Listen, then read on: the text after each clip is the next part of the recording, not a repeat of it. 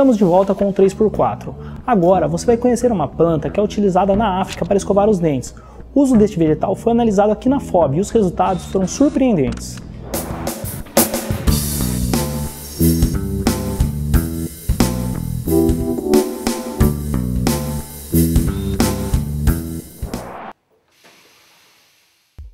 Escovar bem os dentes após as refeições e antes de dormir é um dos principais procedimentos de uma boa saúde bucal. Para essa prática, usamos os cremes dentais disponíveis no mercado. Mas se na maior parte do mundo a escovação é feita utilizando a pasta de dente, existem lugares que isso não ocorre, situação encontrada em algumas regiões africanas. Em partes de países como Moçambique, por mais estranho que possa parecer, a população usa plantas para fazer a escovação. Um exemplo é a Eucleia natalensis. Euclea natalensis é uma planta que nós tivemos o primeiro contato em 2008, numa oportunidade que nós tivemos em Maputo, Moçambique, onde nós pudemos observar que a população lá utilizava como prática corriqueira para os cuidados de higiene bucal.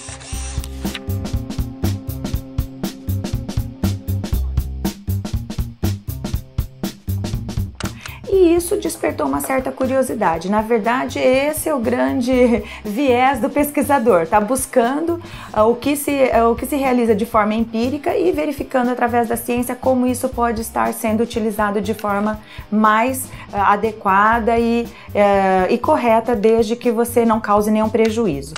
E se usar a planta já é algo estranho, imagina dizer que ela traz benefícios à saúde. É exatamente isso que a pesquisa orientada pela professora Silvia e desenvolvida aqui no CIP pretende provar. A literatura já sinalizava alguns benefícios em relação à cárie dentária e à doença periodontal, além de doenças como diarreia, entre outras.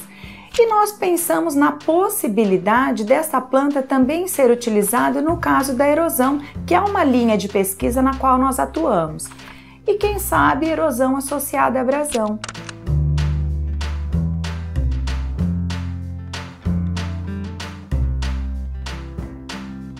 O objetivo dessa pesquisa foi avaliar se o gel da Euclea natalensis ele era capaz de reduzir o desafio erosivo tanto em esmalte como em dentina, seguido ou não da abrasão.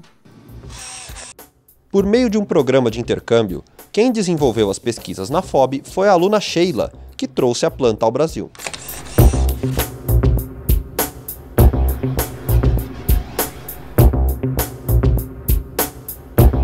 Lá em Moçambique, a planta era muito usada para escovação dentária, porque nas zonas periféricas a população não tem condições para comprar a escova. Então a professora ficou curiosa em saber qual era o efeito dessa planta na cavidade oral.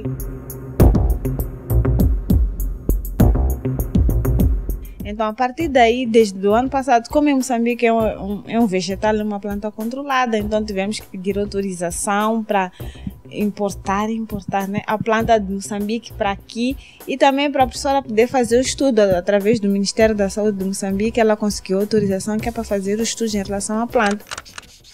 Para o estudo, pesquisadores confeccionaram placas que foram usadas por voluntários. Assim, foi possível testar a eficácia da planta na erosão e na abrasão. Nós utilizamos dentes humanos fornecidos pelo Banco de Dentes da FOB, da Faculdade de Odontologia de Bauru, e foi um processo de laboratório. Usamos terceiros molares, então separamos o esmalte da dentina e a parte do esmalte foi usada para fazer os bloquinhos de esmalte e a parte da raiz foi usada para fazer os bloquinhos da dentina.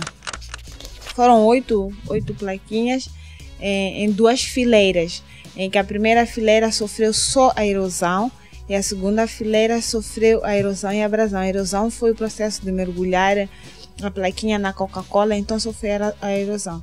Após a, a, o mergulho na Coca-Cola, meia hora depois, é, passou-se uma escova na segunda fileira que era para sofrer também abrasão. O desafio erosivo acontece fora da boca, a aplicação do gel fora da boca, depois o voluntário coloca a placa na boca. E a partir daí nós temos a ação da saliva, que pode causar um benefício em associação com o produto a ser utilizado, no caso é o natalensis. Após as análises feitas aqui no laboratório, os resultados confirmaram que o gel da Eucleia natalensis traz resultados positivos à saúde. Nós podemos observar que o efeito do gel foi muito melhor na dentina em relação ao esmalte. No esmalte houve a, a diminuição da erosão, mas o efeito na dentina foi muito melhor. Então nós achamos que o gel da Eucleia pode obter melhores resultados quando forem aplicados na dentina naqueles pacientes que têm sensibilidade por causa de uma má técnica de escovagem. Então normalmente a parte da dentina fica exposta. Então nós achamos que pode ser útil para reduzir esse efeito da sensibilidade na dentina. Na verdade, esses resultados são extremamente promissores. Abre uma nova possibilidade de pesquisa.